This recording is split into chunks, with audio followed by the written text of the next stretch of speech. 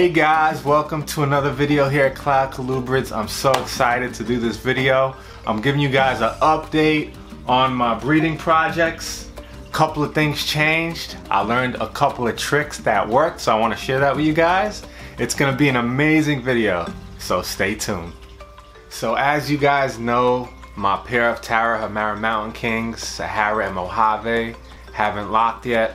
There was a couple of suggestions in the comments and a couple of people on Facebook also told me a certain trick to try. I did. So I want to show you guys exactly what that trick is and if it worked. But first, I'm hungry. I need some coffee. I need something to fill my stomach. I just came from work. I wasn't planning on doing a video, so I'm gonna go eat real quick, get my coffee, and we'll continue this video.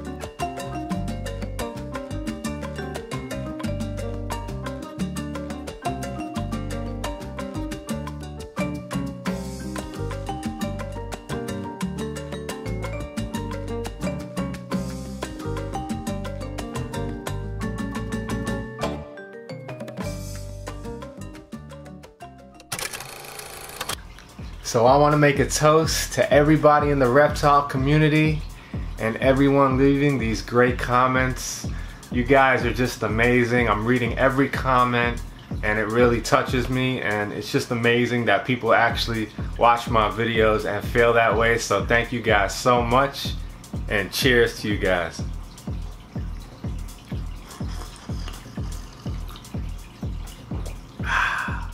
Alright guys, so the tip was to take the shed of another male and introduce it into the bin with the female. So I'm learning so much this year about breeding snakes. This is my first time breeding these Knoblochi king snakes. Now Sahara and Mojave, I tried four times and I left them overnight twice. I didn't see any locks, no action at all.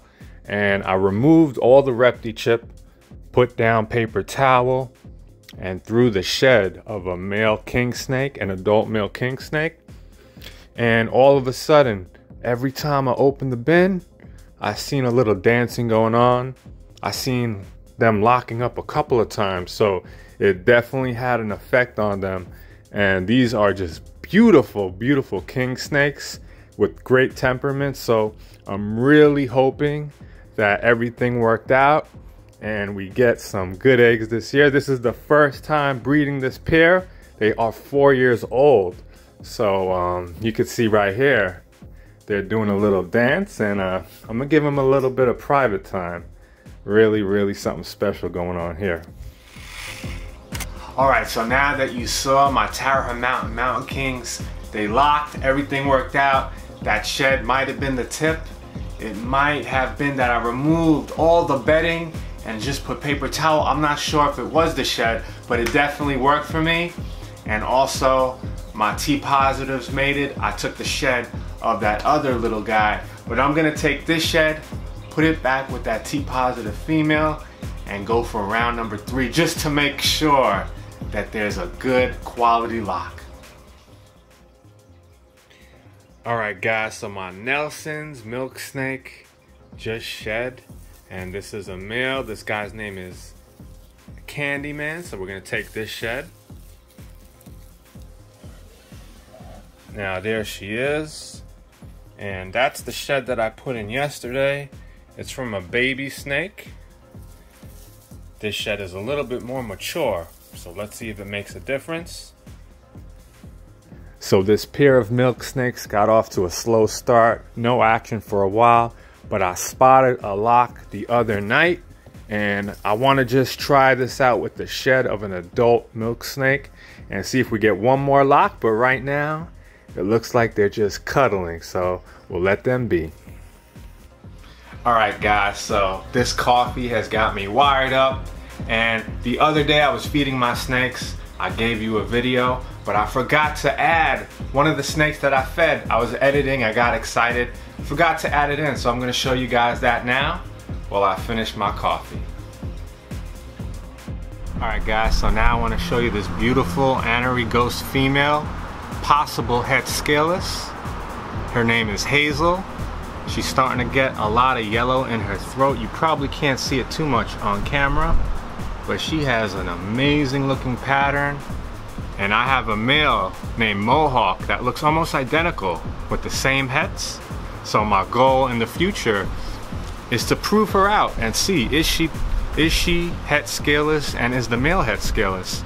If they are beautiful. We'll have some beautiful babies with maybe some scaleless. And if not that's fine too because these look just amazing with the scales without the scales just beautiful.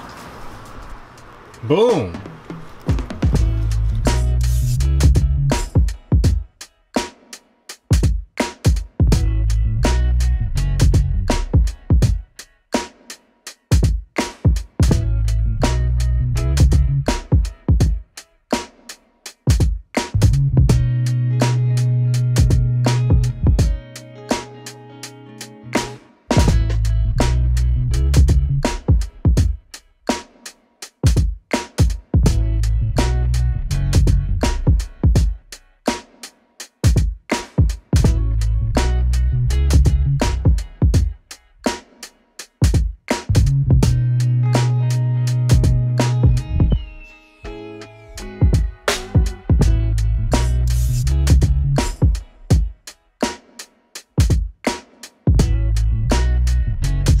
All right, so we're gonna wrap up the video here. We got a lot of things going on. Soon I'm gonna do a video. I gotta start making lay boxes for my girls. I have a couple from last year. I need some more. We're gonna do that. We got a lot of things going on. So just hang out, keep watching the videos, and we're gonna have fun each step of the way. I'll catch you guys in the next one. So I wanna make a toast to everybody in the reptile community. Ah, spilled my coffee. The reptile community.